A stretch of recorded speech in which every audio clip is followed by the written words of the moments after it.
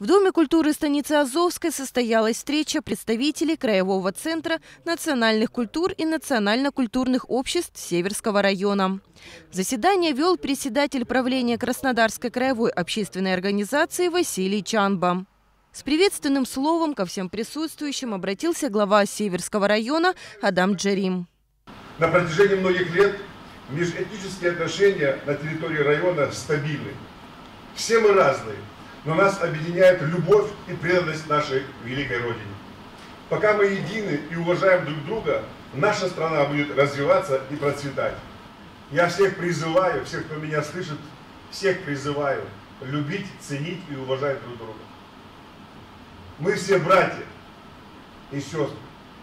Я желаю нашей великой России, нашей великой Кубани только процветания, только мира, только созидания. Потому что не забывайте, что за нами идут наши дети, наши внуки. Какой пример мы им покажем, такая будет и жизнь. Председатели национально-культурных общественных объединений адыгской, армянской, греческой, дагестанской, курдской, таджикской и татарской культуры рассказали о результатах работы за 2015-2020 годы.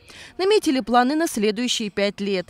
Особое внимание уделили вопросам взаимодействия национально-культурных общественных объединений и органов государственной власти Краснодарского края.